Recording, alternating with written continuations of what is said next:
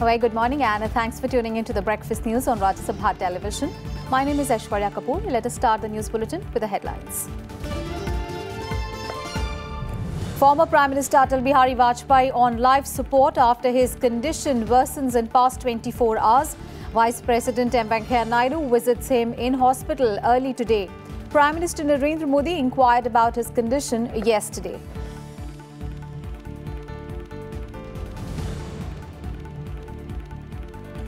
Kerala battles unprecedented floods, uh, 67 people killed, 25 in a day on Wednesday.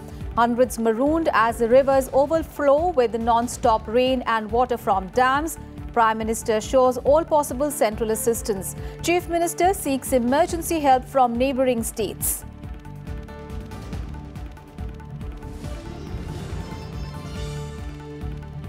India will put a man in space for seven days for less than 10,000 crore rupees, says ISRO chairman. Says technology to enable mission already developed. Prime Minister Modi in his Independence Day address has said that India will send a manned mission to space by 2022.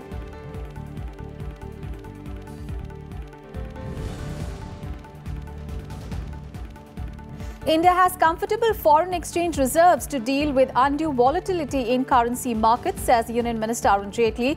After rupee plunges to record low, says government closely monitoring developments in Turkey.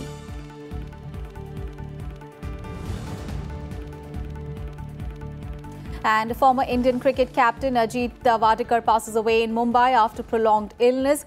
President Ramnath Kovind, Prime Minister Modi joined cricketing fraternity in condoling death of India's captain during iconic overseas test victories in the Caribbean and England in 1971.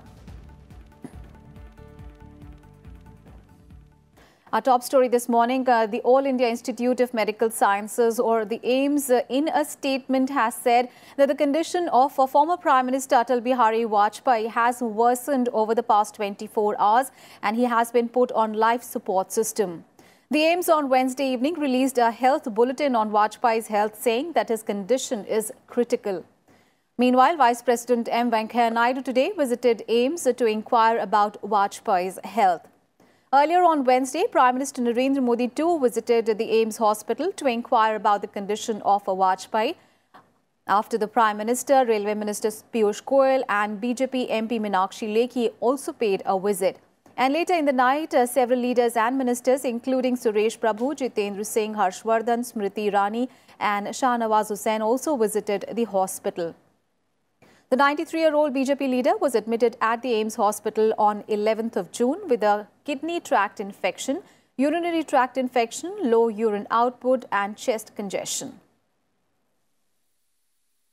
AIIMS में आए हुए उनको दो महीने से ज़्यादा हो गए हैं और बीच में ऐसा लगा था कि उनकी स्थिति में शायद सुधार आएगा पर लगातार उनकी सेहत डिटोरेट हो रही थी डॉक्टरों ने कहा कि उनकी हेल्थ पोजीशन काफ़ी क्रिटिकल है और वो लाइफ सपोर्ट के ऊपर हैं Well, my colleague Anu Diwan is joining us from outside the AIIMS hospital right now. Anu, we understand that Atal Bihari Vajpayee's condition is critical at the moment. He is put on life support system. What more can you tell us? Uh, see, uh, very right, uh, Ashwarya. After his condition was worsened, he was put on life uh, life support system, and after that, many MPs and many cabinet ministers are continuously visiting him. In the early morning hours, Vice President M. Venkaiah Naidu visited AIIMS and inquired about his health. AIIMS yesterday evening, late evening, released a statement saying that his condition was worsened in the last 24 hours, and he was decided to be put on life support system. Uh, uh, after, spoke, after speaking to the AIIMS authority, they are saying they are saying that they are going to release a uh, statement in an hour or two about his health bulletin. Uh, that will be the updated ones. And meanwhile, we are seeing that many of the MPs and the cabinet ministers and the senior and his senior colleagues are paying their visit to AIIMS to inquire about his health. Yesterday, uh, Prime Minister Narendra Modi visited and he spoke to doctors for about 50 minutes about his health. Uh, cabinet Minister Smriti Irani, Piyush Goyal, then Dr. Harshvardhan, Meenakshi Lekhi. So all these dignitaries are are paying their visit here at AIIMS and inquiring about his health. He was admitted in AIIMS on 11th of June and it's been more than two months that he has been admitted in AIIMS of uh, complaining about his health conditions. Aishwarya. Right. Uh, thank you so much, Anu. We'll keep coming back to you as you're saying that uh, the hospital uh, will release a health bulletin in the next one hour. Uh, so we'll keep coming back to you to know more about uh, former Prime Minister Atal Bihari Vajpayee's health condition. Thank you so much for all those updates there. And on to some other news. Uh, Kerala is facing one of its worst floods. The death toll has risen to 67 and 25 deaths on Wednesday alone. A red alert has been sounded in all 14 districts of the state, with most of the rivers in spate. Incessant rains for over 24 hours has also worsened the condition. Now, shutters of 35 dams, including that of Mulla Periyar, are open. The situation on the Pathanam Theta district has been unprecedented with the Pampa River in spate. Hundreds of people are stranded at several places there. The landslides have also claimed lives in the district. Major tourist centers, including Munnar, that have been experiencing huge influx of visitors in the wake of Onam festival season, have closed. Munnar is virtually inundated. The Kochi International Airport is shut till Saturday after water entered the airport area. Train services have also been disrupted and road transport services are in disarray with stretches of road coming under water. The Kochi Metro also has suspended operations for now. Speed restrictions have also been imposed on trains in some sections of the state and traffic on some routes have been suspended. Rains also did not spare Thiruvananthapuram city with the low-lying areas being inundated, prompting the residents to shift to relief camps. And according to the state government, more than 1.5 lakh people have been lodged in several camps across the state. A holiday has been declared for educational institutions in all the districts, uh, barring uh, Kasaragod today, while colleges and universities have postponed examinations. Power supply, communication systems and distribution of drinking water have been disrupted in various parts of the state and help has been sought of more teams of the Army, the National Disaster Response Force and the Army Engineering. And Prime Minister Narendra Modi spoke to Kerala Chief Minister Pinarayi Vijayan on Wednesday over the flood situation in the state. The Prime Minister said that the centre stands firmly behind Kerala and uh, is ready to provide any assistance needed. Home Minister Rajnath Singh also spoke to the Kerala Chief Minister and took stock of the situation. He spoke uh, twice to the Chief Minister yesterday, assuring all central help for relief, rescue and rehabilitation work. The Chief Minister convened an urgent meeting to evacuate to eva evaluate the situation, I beg your pardon, and directed the officials to requisite maximum number of lifeboats from Tamil Nadu. The Chief Secretary was also asked to contact neighbouring states for emergency assistance as the drinking water distribution system collapsed in several places. Vijayan also asked people to minimize the use of water being distributed by the State Water Authority. നമ്മുടെ സംസ്ഥാനത്ത് ഉണ്ടായിരിക്കുന്നത്. കേരളത്തിന്റെ ചരിത്രത്തിൽ ഇതേവരെ ഉണ്ടായിട്ടില്ലാത്ത നിലയിലേക്കാണ് കാലവർഷക്കെടുതിയുടെ ദുരിതങ്ങൾ എത്തിപ്പെടുന്നത്. നാം നേരിടുന്ന ദുരന്തത്തിൽ അയൽ സംസ്ഥാനങ്ങളുടെ കൂടി ചില ഇടപെടലുകളും സഹായവും നമുക്ക് ആവശ്യമുണ്ട് ആ സംസ്ഥാനങ്ങളുമായി ഇതിനകം ബന്ധപ്പെട്ടിട്ടുണ്ട്. തുടർന്നും ബന്ധപ്പെട്ടുകൊണ്ടിരിക്കുകയുമാണ്. കൂടുതൽ ബോട്ടുകൾ നമുക്ക് ആവശ്യമുണ്ട് ഇത്തരം സ്ഥലങ്ങളിൽ ബോട്ടുകൾ എത്തിക്കുന്നതിനുള്ള നടപടികൾ യുദ്ധകാലാടിസ്ഥാനത്തിൽ തന്നെ സ്വീകരിക്കുകയാണ്.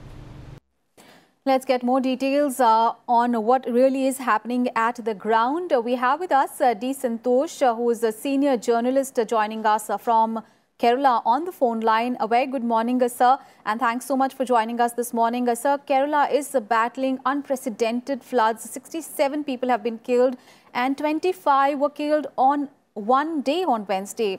You know, the Kochi International Airport is also shut. Red alert has been issued. What more can you tell us?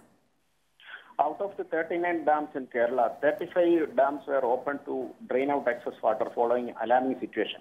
A red alert was also issued in all the 14 districts in Kerala. About uh, 70, 768 relief camps have been opened by the government, and as many as uh, 89, 90,000 people were shifted to relief camps till last evening. Yesterday, the Chief Minister also spoke to the Prime Minister and the Tamil Nadu Chief Minister seeking their help uh, in bringing down the water level of the 125-year-old Mullaperiyar Dam to the 139 feet from the its capacity of 142 feet. Consider the high inflow inflow of water into this, this reservoir following heavy rains in the catchment areas. And uh, more than that, yesterday itself, uh, more than 24 deaths were reported in Kerala. The death toll rose to more than 67 in the landsli- uh, landslides and uh, rain-related incidents since August 8. Um, uh, Kerala also sought the help of Tamil Nadu for getting more boats for deploying in rescue operations for the evacuating of people from low-lying areas. Thousands of people were landed in several homes in Aranmula, Chengannur, uh, and Pathanamthitta uh, areas. Uh, there, these, there are several houses were immersed in water in these areas. Hundreds of WhatsApp and Facebook messages are uh, sending by the people uh, for their evacuation from their houses in these long-lying areas. The Travancore Devaswom Board also banned uh, entry of pilgrims to the world-famous Ayyap, Lord Ayyappa temple due to flood in Pamba River. Uh, Yes. Uh, the operation Kochi International was suspended for, due to workflow. And the train service between the South Kerala and North Kerala also um, uh, suspended uh, due to heavy uh, waterlogging in uh, rail ranks. And these are the major incidents reported in the last evening. And uh, water, uh, the rain, uh, the, the, the heavy rain continues all over the states till this morning. And the situation is very alarming. right. And government is also taking several steps to deal with uh, vulnerable situations. Right. Uh, so, as you said that, you know, uh, rivers are overflowing uh, in the state and hundreds of people are marooned in several worst affected districts. Uh, so, tell us ki the kind of relief and rescue efforts that are going on. And we understand that the army as well as the NDRF are involved in the relief and rescue operations. National Disaster Response Force and Engineering Task Force wing of the Indian Army and the Bangalore military unit from the Bangalore military also deployed in these areas uh, in, the, in these areas, especially in Pathanamthitta, Alappuzha districts after the over, overflow of the Pamba River. Uh,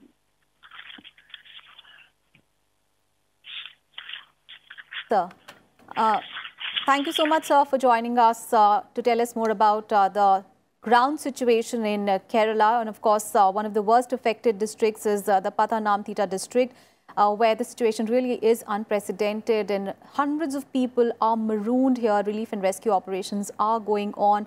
The army as well as NDRF uh, are involved in the rescue operations. Of course, this is one story that we'll keep tracking through the day. Thank you so much, sir, for all the ground updates. And rains are lashing Odisha as well. Two persons lost their lives and one went missing as heavy rains pounded five districts of the state. Normal life in the state has been severely affected as heavy rains continue to lash the state since the last three days. The state government uh, has uh, put the district collectors uh, to remain alert in view of the heavy showers.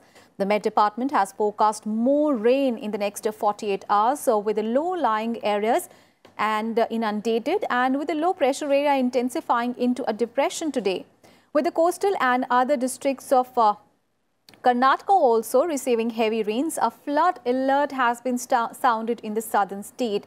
Chief Minister H.D. Kumaraswamy has uh, directed the deputy commissioners of the districts uh, to be on high alert. Kumaraswamy has also directed them to take preventive measures to avoid major mishaps due to flood and landslides and also to be prepared to take up relief work on time. The Chief Minister is also scheduled to hold a meeting today to review the flood-like situation in the coastal districts of the state.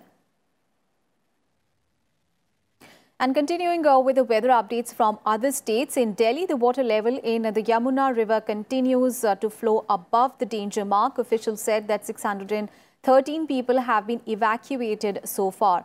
And according to the East Delhi District Administration, the water level of the Yamuna River reached uh, 205.72 meters, uh, while its danger mark is 204.83 meters.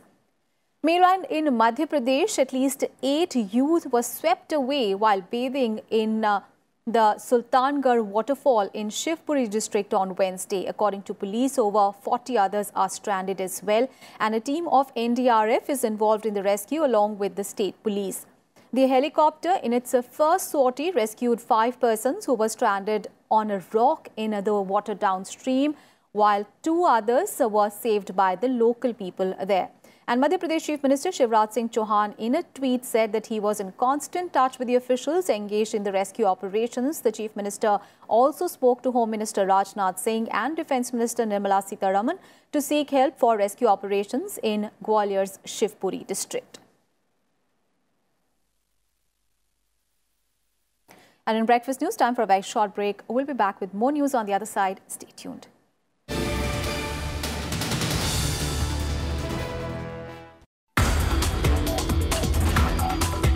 We have been harping with the government for a long time that since geography term this course is, should be removed from the school and let it be called earth sciences.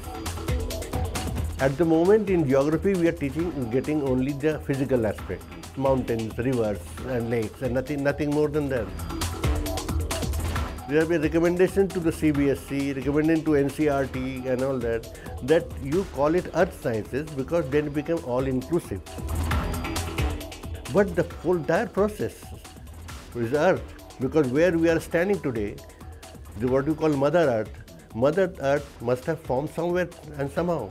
To understand how it has formed and what you have in that, we need to have know, know the geology of the earth. Watch Eureka with Professor Dheeraj Mohan Banerjee, INSA Honorary Scientist, Saturday 4 pm, Sunday 12 noon, only on Rajya Sabha Television.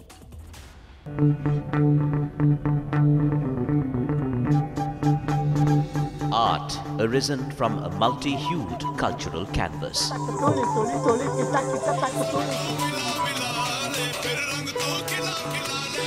Tradition and cultural fervor dating back centuries. And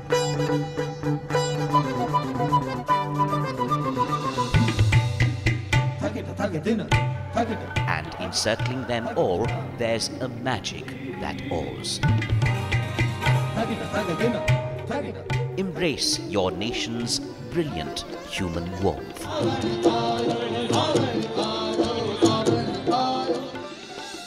Watch Colors of India, Sundays at 9.30 pm on Rajya Sabha Television.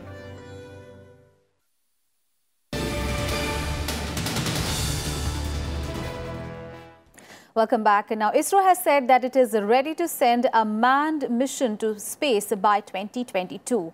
After Prime Minister Narendra Modi, in his Independence Day speech, said that the country will see an Indian on a space mission under an indigenous uh, space project called Gaganyaan before 2022. ISRO said that the technologies for the said mission have already been developed. हमारा देश अंतरिक्ष की दुनिया में प्रगति करता रहा है। लेकिन हमने सपना देखा है। हमारे वैज्ञानिकों ने सपना देखा है। हमारे देश ने संकल्प किया है कि 2022 जब आज़ादी के 75 साल होंगे, तब यहाँ हो सके तो उससे पहले आज़ादी का 75 साल मनाएँगे तब तक। माँ भारत का कोई संतान चाहे बेटा हो या बेटी, कोई भी हो सकता है। वे अंतरिक्ष में जाएँगे। हाथ में तिरंगा झंडा लेकर के जाएँगे। आज़ादी के 75 साल के पहले इस सपने को पूरा करना है।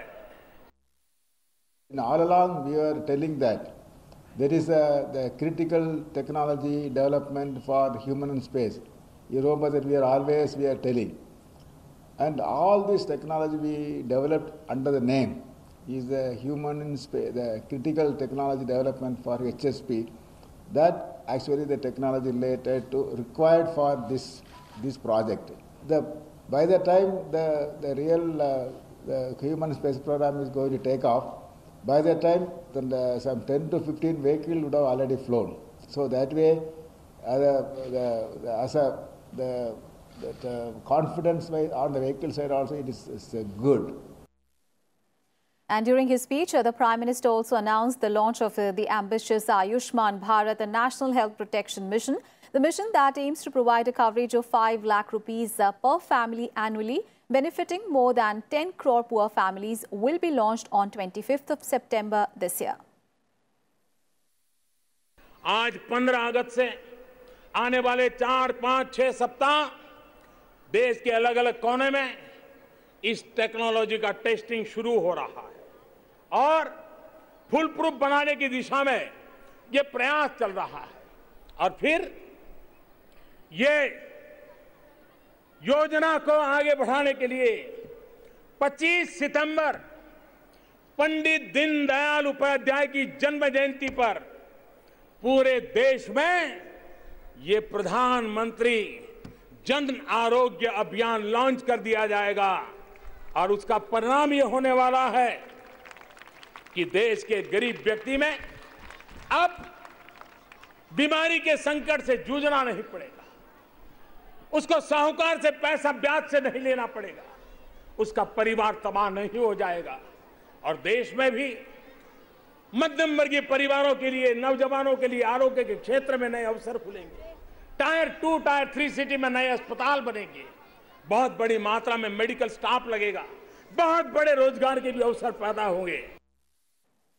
And Prime Minister also announced uh, that women personnel recruited uh, through Short Service Commission to be given permanent commission like uh, men in armed forces.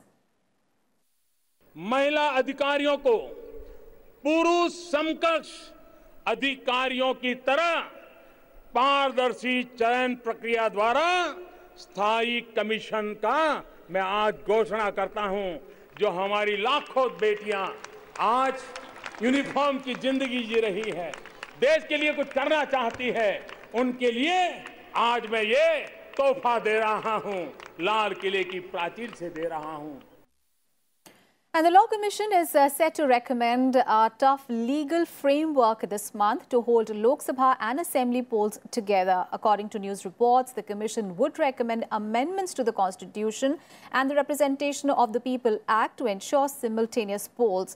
Although the recommendations of the Commission are not binding on the government, the report will allow an informed debate among political parties and all the stakeholders. In April this year, a law commission uh, paper had suggested that simultaneous elections to Lok Sabha and state assemblies can be held in two phases so beginning in 2019, provided at least two provisions of the constitution are amended and ratified by the majority of the states. It suggested that the second phase of simultaneous polls can take place in 2024. Meanwhile, Chief Election Commissioner O.P. Rawat has said that the Election Commission is capable of holding Lok Sabha and uh, polls to four state assemblies together in the month of December if the parliamentary elections are advanced. And on to the other top story, Union Minister Arun Jaitley has said that India has comfortable foreign exchange reserves to deal with any undue volatility in the currency market.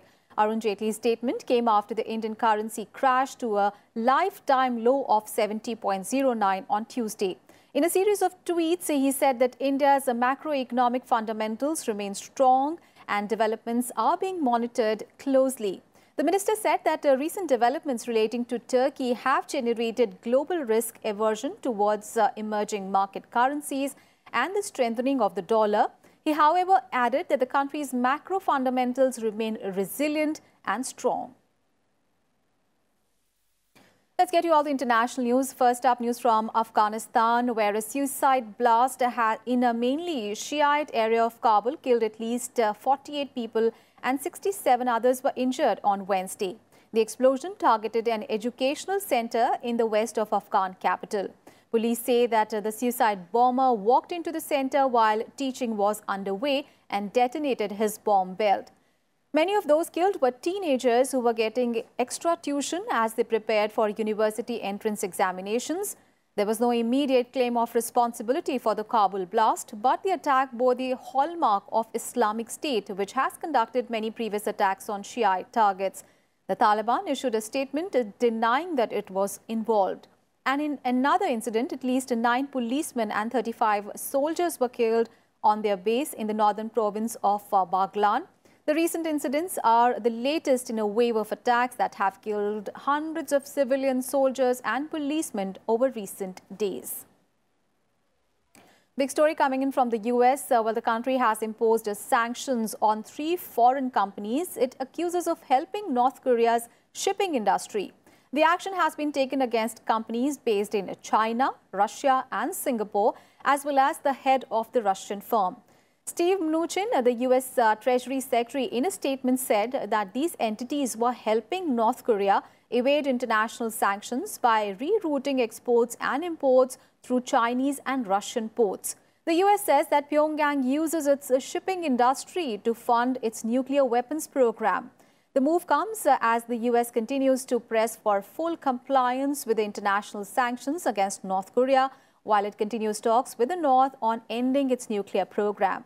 There has been little headway in North Korean denuclearization talks since the June summit in Singapore between President Donald Trump and North Korean leader Kim Jong-un. And former Indian Test skipper Ajit Wadekar breathed his last at the age of 77 after a prolonged illness in Mumbai on Wednesday. Wadekar appeared in a total of 37 tests and he amassed 2,113 runs at an average of 31.07. He scored uh, his uh, sole century against New Zealand in 1968. He also played uh, two one-day internationals for India with a high score of 67 runs against England in 1974.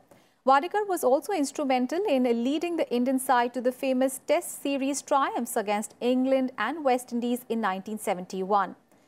In 1967, the Government of India bestowed Wadekar with the Arjun Award. He also received the Padma Shri Award, the country's uh, fourth highest civilian honour in 1972.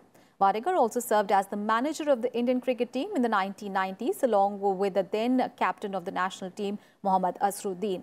President Ramnath Kovind and Prime Minister Narendra Modi have expressed their condolences over the death of the former captain. President uh, Ramnath Kovind described Wadekar as India's finest left-handed batsman and captain.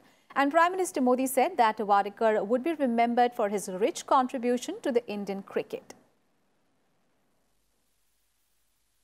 And that's the wrap on this edition of Breakfast News. Thanks for watching. Have a great day ahead.